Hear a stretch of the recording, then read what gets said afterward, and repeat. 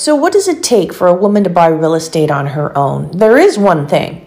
There's one thing that separates women who are successful at it and those who sadly fail. And this has nothing to do with money or budgeting.